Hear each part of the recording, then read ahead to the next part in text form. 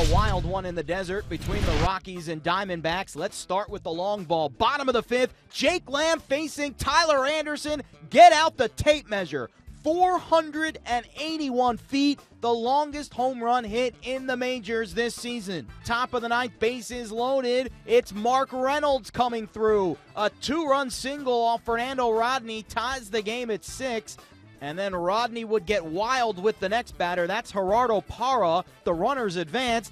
Then a little bit later in the at bat, Another wild pitch scores the go ahead run. So it's 7 6 Rockies in the bottom of the ninth, tying run in scoring position. Chris Owings gives that one a ride, but Parra makes a great diving catch. Then the next batter, Paul Goldschmidt, strikes out looking. Greg Holland locks down the save as the Rockies slither into the desert and sneak past the Snakes 7 6. Charlie Blackmon's single in the fifth extended his hitting streak to 14 straight games.